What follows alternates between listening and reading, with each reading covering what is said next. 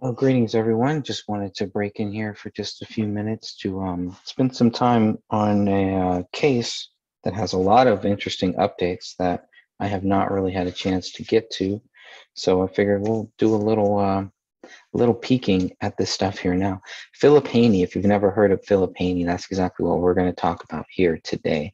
So what I'm going to do is I'm going to share the uh, share my screen and we're going to go over uh, just some of the basic things about Philip Haney, the Justice for Haney group that Dan Hannon created, started, and um, we're going to go through some of the stuff on the website. Bear with me if I'm squinting my eyes. I do not have my glasses on. All right, so if you've never heard of this case, here it is Justice for Haney, DHS whistleblower. In the About Me section, talks about what the purpose of this group is here. So Phil Haney was found shot to death in Plymouth, California on February on Friday, February 21st, 2020. This was not a suicide, and Mr. Haney stated he would never commit suicide. Very important when a person states they will never commit suicide.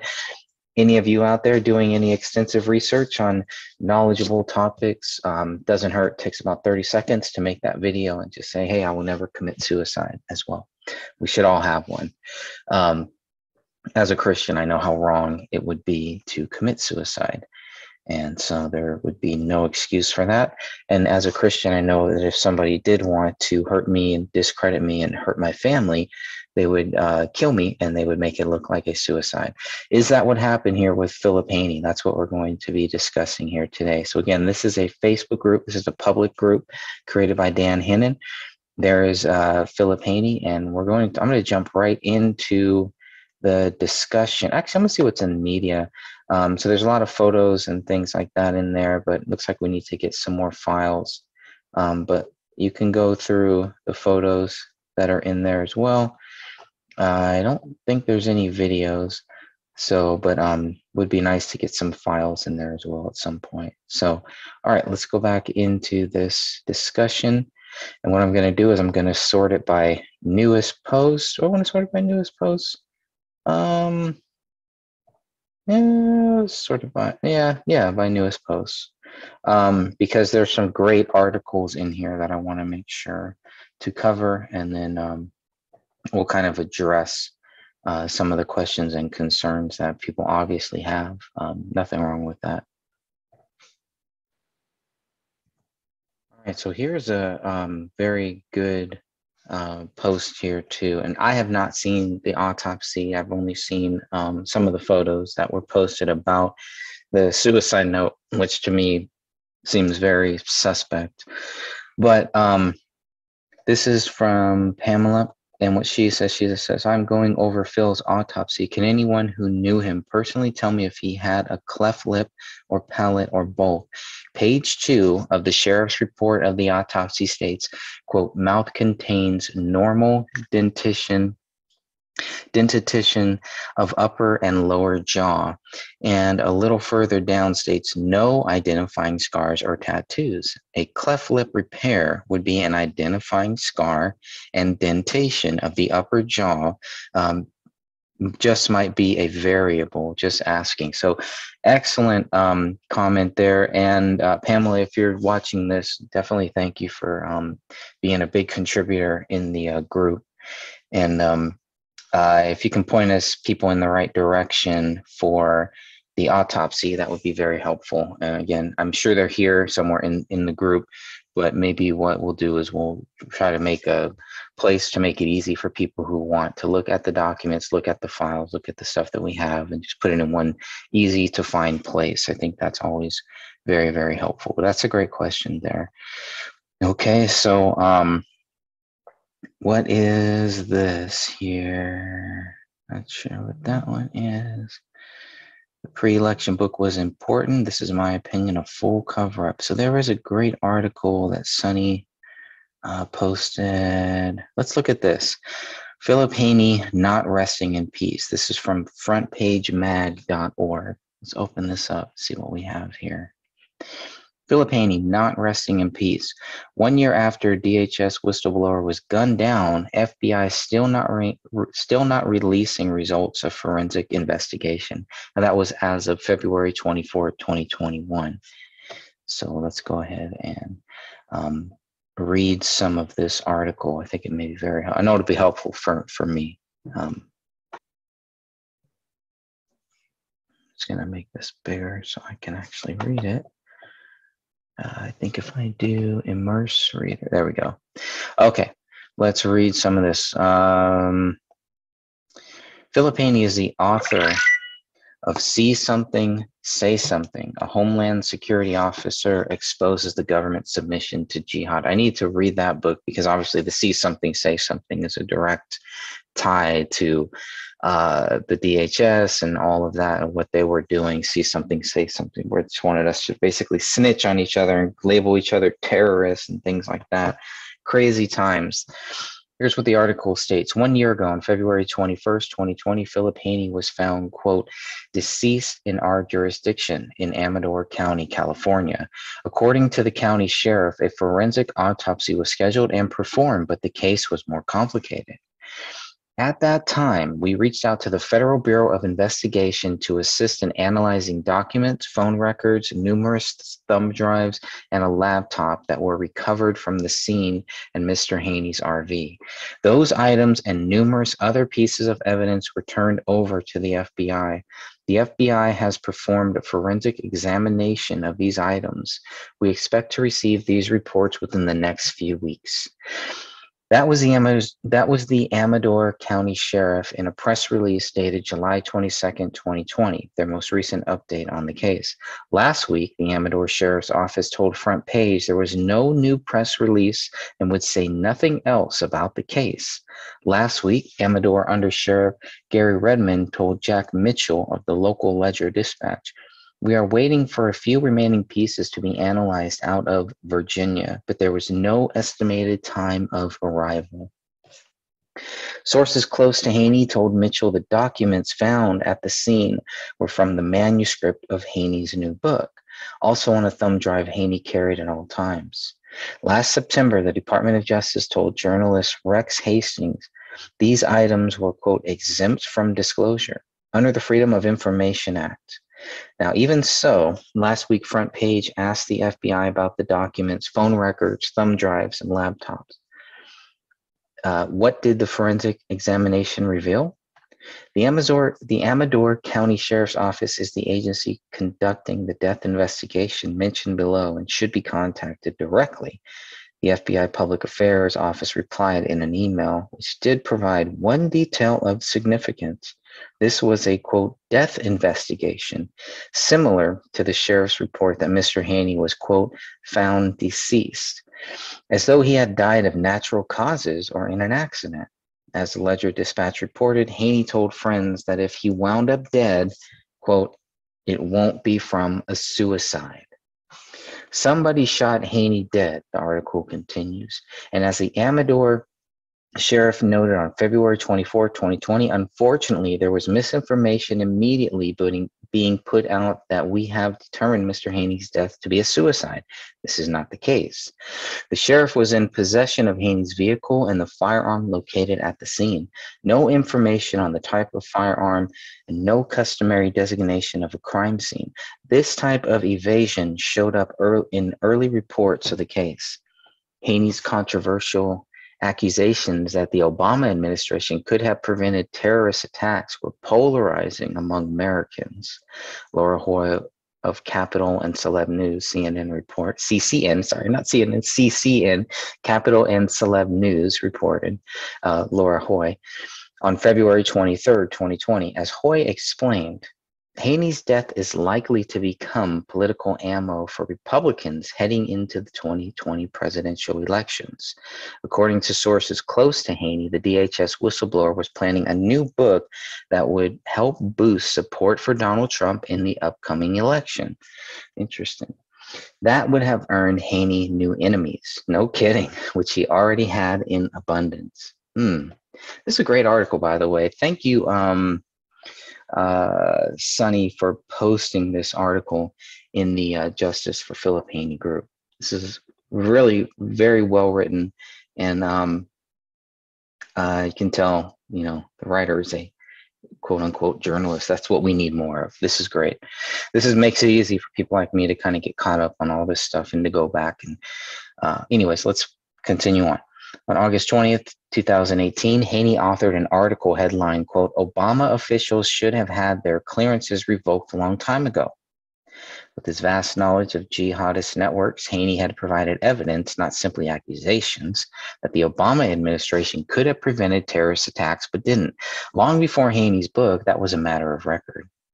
As Lessons from Fort Hood explains, the FBI knew that Major Nidal Hasan, a self described soldier of Allah, was communicating with jihadist Anwar al Awlaki about killing Americans. Very interesting.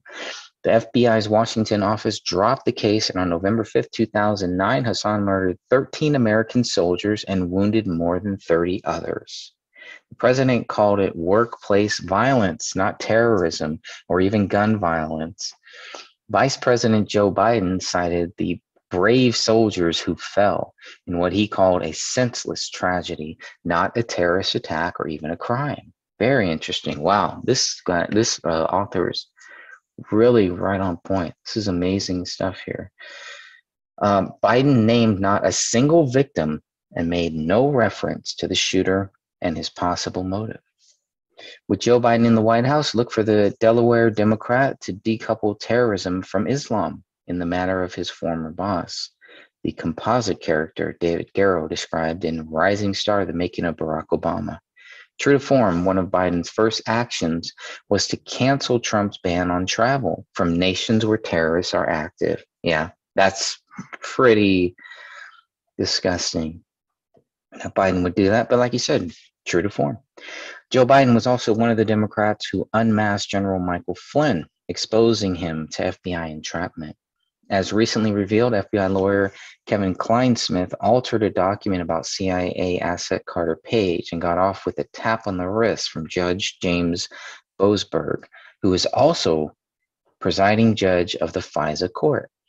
FBI Director James Comey and FBI counterintelligence boss Peter Strzok, Strzok uh, participated in a coup attempt against President Trump and got away with no criminal charges. Yeah, there it is. I mean, look at look at all these guys, all the same cast of characters, right? The FBI is now the American KGB, this author writes, a squad of deep state partisans operating above the law. On Joe Biden's watch, the FBI is unlikely to reveal what was on Philip Haney's computer, thumb drive, and documents found at the scene. They saw something, but say nothing. Philip Haney is not resting in peace. The struggle of the people against jihad is the struggle of memory against forgetting. Fascinating article. Fascinating. This was written by Lloyd Billingsley, um, dated February 24, 2021. Fascinating article. Um, wow, interesting. Lots of great links. What I love too is this article has a lot of links that you can actually uh, go to and uh, get these documents. That's so important in this world now to be able to quickly get the documents, get the references, get the sources out to people um, because we know how these fake fact checkers work. Let's continue on then. I'm going to play this uh, video here, seven minutes. This is from Counter Jihad Video Ex-DHS whistleblower Philip Haney testifies on America's willful blindness to jihad. This is from the Ted Cruz hearing, Islamic Terror, Philip Haney's testimony. Let's go ahead and uh, about seven minutes here.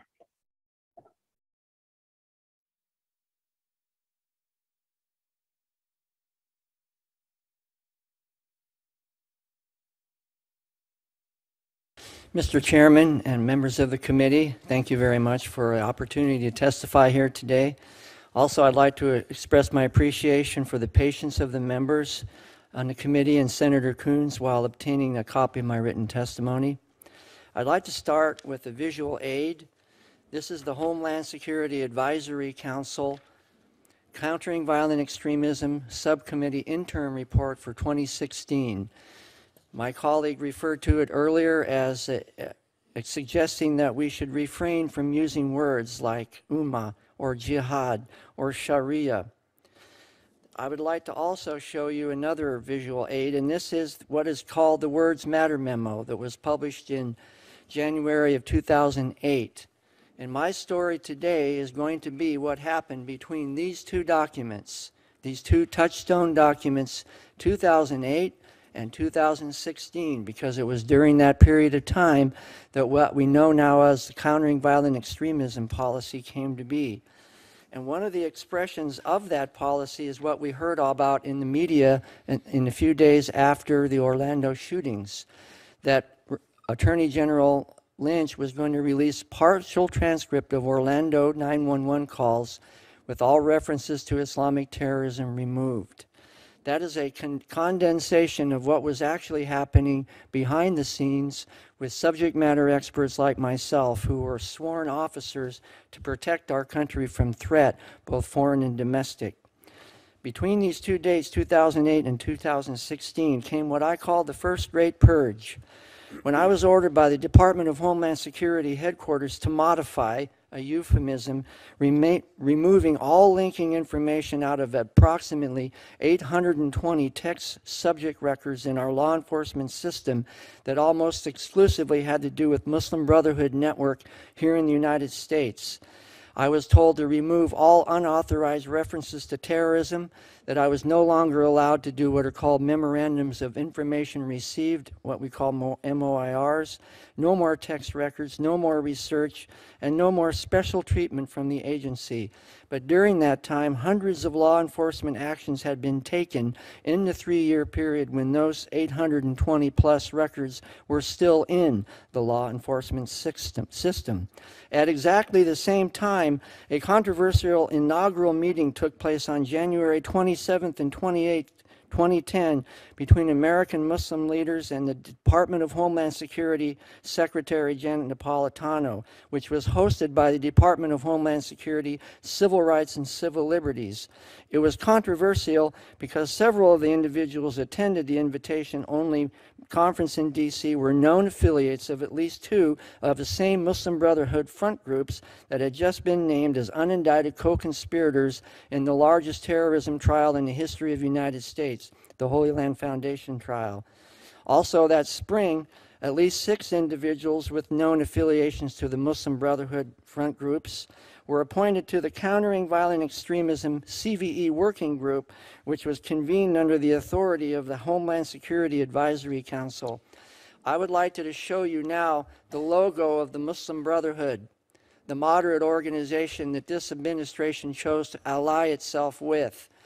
Across the middle, it says Al Ikhwan al Muslimin, which means the brothers of the Muslim or the Muslim Brotherhood. And at the bottom, taken from Quran 860, is the word Wayayuda, which means prepare yourselves to terrify your adversaries with steeds of war or weapons of war. That is the motto of the Muslim Brotherhood.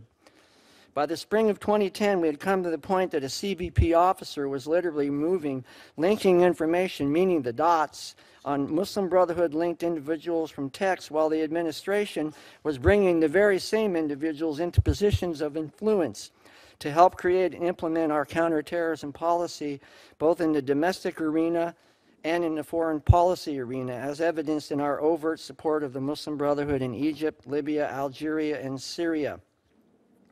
Fast forward to August 30, 2011, when the Tablighi Jamaat court uh, case that I worked on was approved by the Chief Counsel of Department of Homeland Security. And this is an icon of the Tablighi Jamaat movement, one of the largest in the world outside of the United States. It's called the Army of Darkness.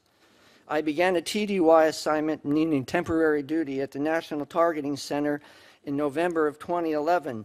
Within six months, we had instituted 1,200 law enforcement actions on the case that we had started.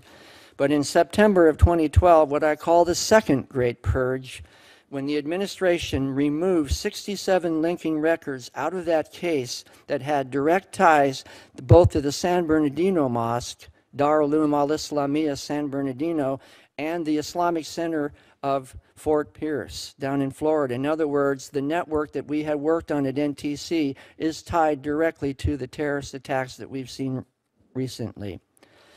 At the end of my career, I was relieved of my service weapon. All access to TECS was cut off and suspended. My secret clearance was revoked, and I was sequestered for 11 months while the, while the results of three simultaneous investigations from three different branches of the government were concluded. In July of 31 of last year, I retired honorably. In conclusion, the threat of Islamic terrorism does not just come from a network of armed organizations such as Hamas and ISIS who are operating over there somewhere in the Middle East. In fact, branches of the same global network have been established here in America, and they are operating in plain sight, especially among those of us who have been charged with the duty of protecting our country from threats both foreign and domestic.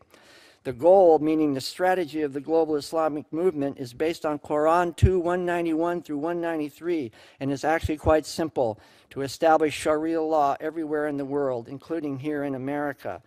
And there is an organization in the United States that's actively doing that. It's called the Assembly of Muslim Jurists of America. Very benign sounding name, but in Arabic is Majama Fuqaha al Sharia bi Amrikiya the group of lawyers implementing Sharia law in the United States, which is unconstitutional. The threat that we face today that continues growing despite the willful blindness of those who insist on pretending otherwise are not the tactical methods of violent extremism, terrorism, or even operative verbs such as jihad, but rather the historical and universally recognized Islamic strategic goal of implementing Sharia law everywhere in the world so that no other form of government, including the United States Constitution, is able to oppose its influence over the lives of those who must either submit to its authority, become second class demi citizens, or perish. Thank you very much for uh, your attention. All right, and now we're going to continue on taking a little um, look at uh, Philip Haney, and I'm going to share my screen again because there is this article that I really want to go over. Um, this is a photo that was posted in the group, Justice for Philip Haney group. So I'm going to do my best to try to enlarge this and then read it here as we go. Uh, this was by, this is called, this is written for the Ledger Dispatch, and title is The Last Days of Philip Haney, written by Chris Chrisman. So again, I'm trying to enlarge this a little more so I can read it to you. Okay, Let's read through this together. Two years after his death, the Amador County Sheriff's Office, ACSO, and the FBI released two massive reports to document that Phil Haney died of a self inflicted gunshot, i.e., suicide. The reports, dated March 8, 2022, include 468 pages of documents and 723 photos. Download before April 4th 2022 at swisstransfer.com. Oh, I missed it. Okay, well, if anyone has that, um, I'd love to get a copy of that, but um, I'm sure somebody has it backed up somewhere. Um, definitely need to get that because uh, today is the 6th. so I missed that by two days. Darn. But that's a lot of documents there. 468 pages of documents and 723 photos. We need to get that somehow um, and make sure everyone in the group can have access to it. Most of the contents have to do with chain of custody records generated as evidence is passed between local sheriff's department and the FBI. It appears throughout these records that the ACSO was concerned about the FBI taking over a local routine death investigation, while the FBI was concerned about uncovering, re- retrieving, and retaining flash drives, iPhones, and other documents possessed by Phil Haney the disparity between the resources of the FBI versus those of ACSO is illustrated by the 13 person FBI team mastered, mustered to search the two vehicles belonging to Phil Haney versus ACSO's entire 10 person investigation team. FBI report, page 27. It is also significant that the FBI report contains only one field interview, that of Benjamin Ungerman on May 5th, 2020. This interview was conducted in Omaha, Nebraska, where Phil Haney had a, had a meeting earlier on February 3rd, 2022, with Republican Senator Don Bacon. This meeting was to get Senator Bacon's help to revive the investigation into corruption in the Department of Homeland Security. FBI report, page 262. The FBI wanted to know who might have the files on Haney's whistleblowing data. Interesting. All of this is to say that the only insight into why Phil Haney committed suicide came from the ACSO. The best way to understand the situation is to reconstruct the timeline. This is an excellent point right here. Um, this, and thank you, I think it was John Donor for posting this.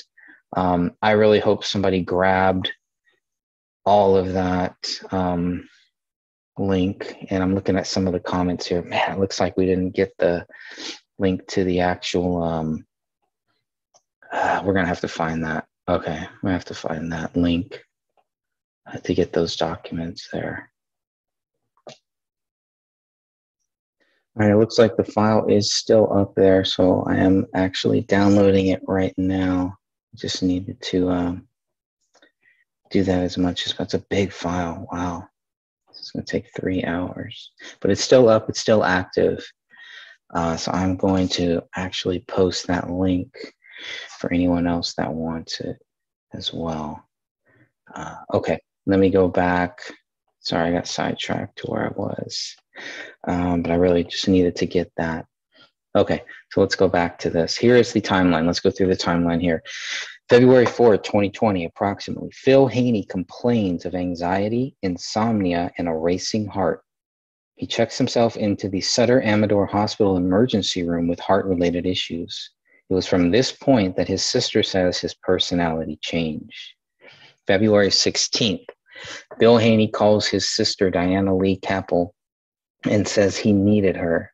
She met him at the 49er RV park in Plymouth and took him back to her home in Granite Bay, 35 miles away, where he stayed for four days. After his anxiety subsided, she brought him back to his RV in Plymouth about uh, 12:30 p.m. on February 19th. ACSO coroner's report, page 155. The following happened on February 20th. 12:40 p.m. Phil Haney has an appointment with cardiolo- cardiologist Dr. Sonia Raghavan. She runs an EKG and other tests and determines that he has a leaky mitral valve, estimated leak 60 to 65 percent. The doctor determined that this was a serious problem that needed open heart surgery sooner than later. She emphasized he would not die from his present condition, but needed to correct it before it became life threatening. ACSO Coroner's Report, page 82. The preoperative appointment would be February 24, 2 p.m. Phil reports the medical situation to his fiancee, Denise Lynn Gary Pandel, who lives in Bakersfield, some 275 miles away. They would have to postpone their April 4 wedding date, but Denise assured Phil that rescheduling was not that big a deal. The conversation discussed other plans and adjustments needed. The conversation lasted about one hour. ACSO Coroner's Report, page 156. At 4:57 p.m., this is all still on um, February 19th. So uh, I'm sorry, February 20th at 4:57 p.m. Phil calls Denise, no answer. 5:04 p.m. Phil calls Denise, no answer. 5:11 p.m. Phil calls his sister Diana to discuss the diagnosis. The call lasts 10 minutes. 5:36 p.m. Phil calls his brother Terry to share the medical diagnosis. Terry assures him the surgery is now common and is no big deal. This call lasts eight minutes. FBI report, page 143. 5:56 p.m. to 6:04 p.m. Phil sends the same text message to three friends. Hello, friend. I learned today that I'll need to have urgent open heart surgery repair uh, to repair a badly damaged mitral valve. It'll probably happen in the next week or so with a three-month recovery. FBI report, page 145. Those were the last communications by Phil. His suicide note is dated February 21st, 2020. Wow. This is written by Chris Chrisman, and he is a Los Angeles resident and a friend of Haney. The views and opinion expressed in this article are those of the author and do not necessarily reflect the official policy or position of anyone other than the author listed. Great article again. Thanks, John, for finding that. Um, yeah, keep you guys posted on that. Uh, I want to get this transferred first. Once I have it downloaded and secured, then I will um, copy this link and I will share it into the group. I just want to make sure I have it all backed up here, just in case, because this was supposed to be deleted on um, the 4th, and this, this says these files will be deleted for 15 2022. To grab them while you can. I just want to make sure there's no shenanigans going on here. So I will make sure to get that and make sure that everyone will have access to it. All right, so while we're waiting for that to finish download, um, I think one thing we want to get to, let's see, we read the front page news one. I think we want to go through the um, alleged suicide note, right? Because that was posted here. Um, Dan Hannon did post that. So let's go ahead. I'll find that here and we will go through that. Right now, premiering live on my one of my YouTube channels, Greg Fernandez Jr. I do have um, it's about five hours, almost six hours long, and it is um, a compilation of some of Philip Haney speeches, which I have not read. I'm sorry, have not watched or listened to. I, I will make an audio version, a podcast type version, for people that want to listen to it that way too. But there's some really good stuff here. Um, so if you do have a chance to check that out, on YouTube, just put in Greg Fernandez Jr. or Philip Haney speeches. All these speeches can be found on YouTube. I just wanted to have a compilation of a bunch of them in one video. So it is about five or six hours long there. Good to have, I think. Uh, how much longer does this have to go here? 43 minutes. Okay, it's jumping around. So that's going to be a while here. But um, that's good news. That's good news. I'm glad that we were able to find that that um, is a big, big deal. And watching some of what Phil Haney was talking about in those videos has been uh, very, um, very interesting.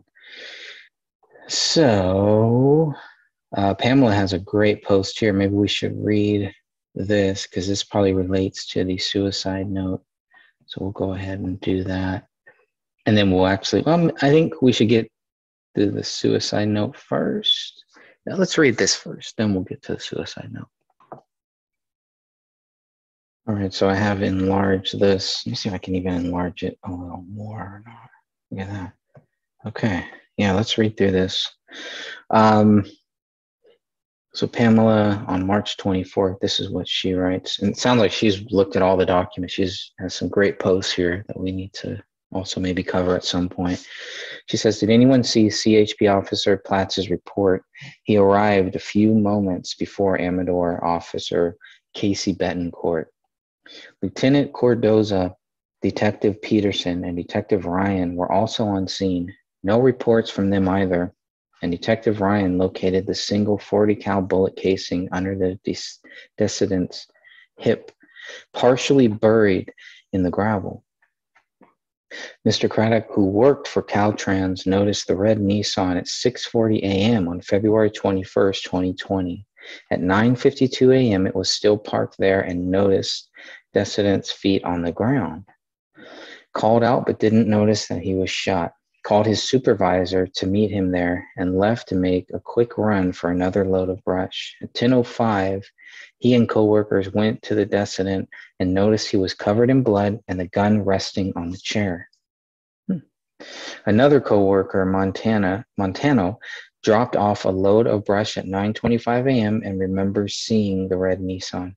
He also remembers seeing a white work truck parked in the turnout about the same time.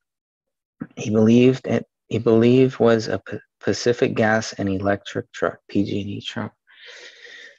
Uh, he remembers seeing a male wearing an orange vest and was using his cell phone. Don't see any report of trying to locate this person. Phil was pronounced dead at 10:25 a.m. The funeral home was making the removal at 11:10 a.m. So the investigation was less than 1 hour and the body was moved. Car was moved at 11:25 a.m. Seems kind of quick for me. Um, that's what Pamela says. No time for yellow crime scene tape. They had their quote unquote suicide note and gun and called it a quick slam dunk suicide and left the scene until they received all the phone calls and found out who he was and did. They didn't find the bullet. They removed him to the funeral home instead of direct autopsy and cut off his clothes and didn't send them to the autopsy about five days later. They put the blood-stained chair in the back of, in the back seat of the car. The unknown male DNAs are not identified, and neither is the Pacific gas guy, and the list goes on. Quote, it was suicide because he gave his neighbor his plotted his potted plant and he seemed depressed, end quote. No mention of a very scary open heart surgery, and he might be getting his things in order in case he doesn't make it through surgery. There was also a sheriff change during this two year period. That's an interesting, um, great post there, by the way. Um, so, for all of us who have not read, um, have not read this yet, this is great. This is great to to look at it.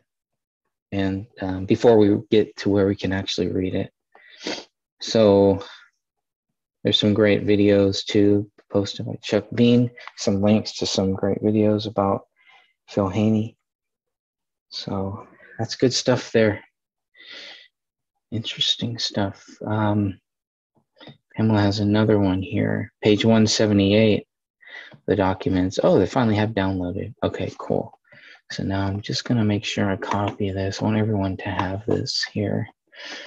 Um, DNA test, DNA evidence, item one, the pistol. Blood was not detected on this item. Male DNA of three individuals on the gun. Who are the other two? That is an awesome point. Hmm. Hmm, hmm, hmm. Previous owner and who? Cop rolled out. His hands were covered in blood and not on the gun from his self inflicted gunshot wound. A gun found on the seat of the folding metal chair. How does that happen? She asks. Looks like he stood up, possibly clenching his chest, causing the blood on his hands because he missed his heart totally.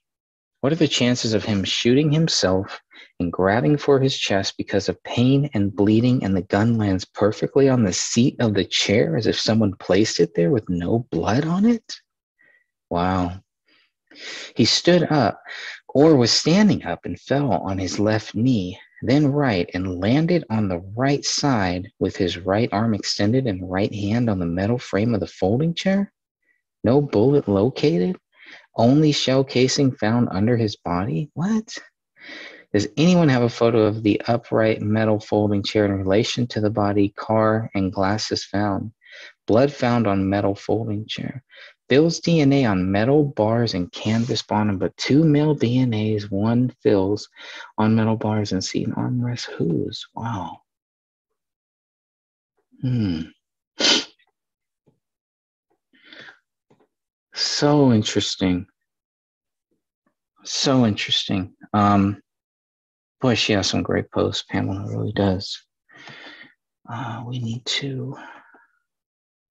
It's a group expert. Um,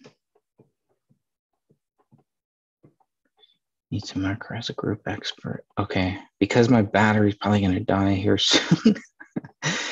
Um, but uh, I gotta I gotta read some some more of her posts. over here. Uh, I hope she doesn't mind either.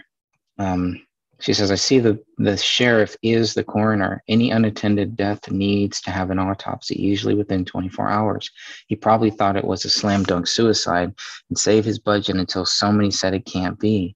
What I noticed is that the autopsy was on 22620 and the body was delivered in an unsealed body bag without clothes to be examined and without hands bagged to check for the gun residue.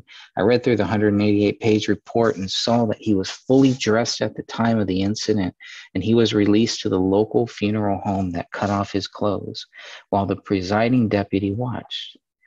Clothes were bagged, but I never saw a report of findings on the clothes. Entry and exit wound, blood spatter, gunpowder residue, etc. Why didn't they bring the clothes with the body?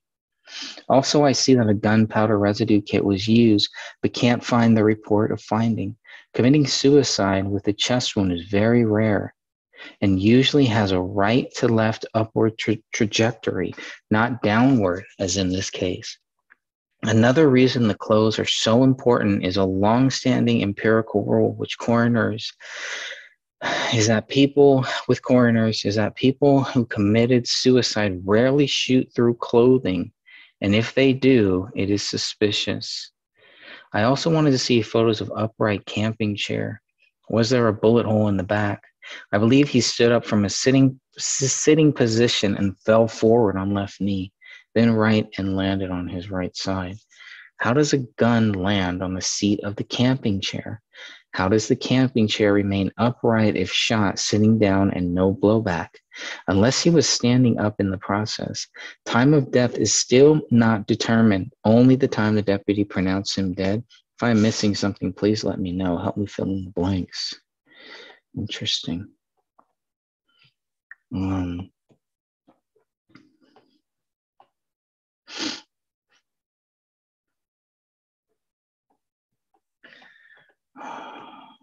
interesting. So interesting.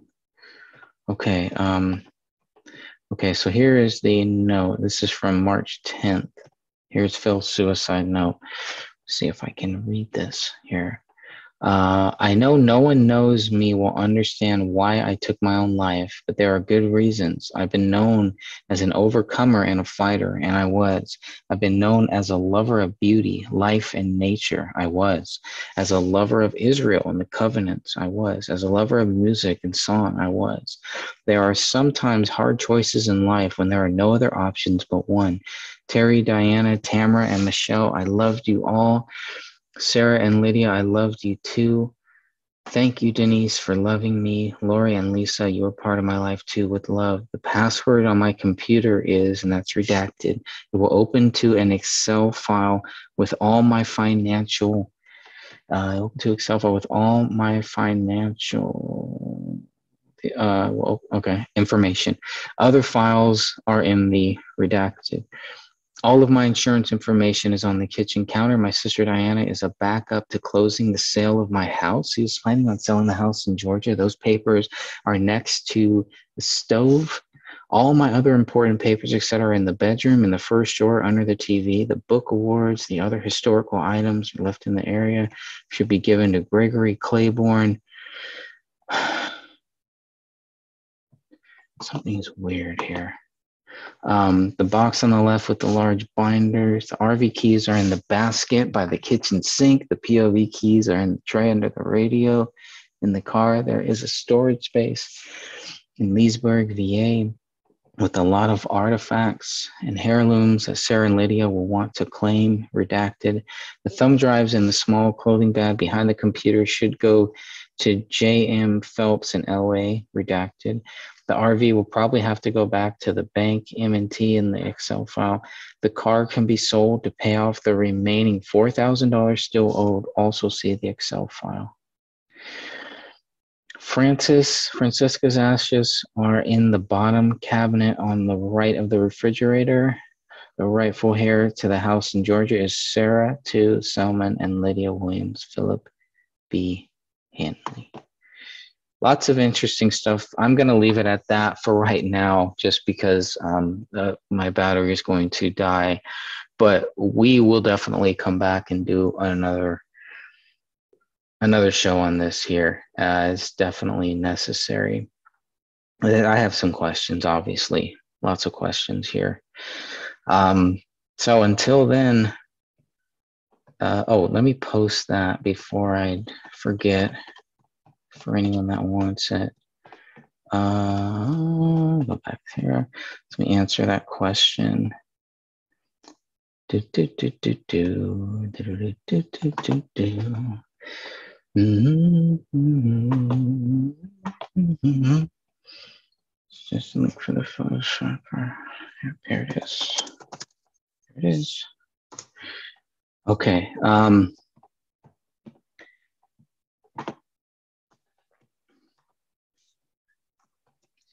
can download the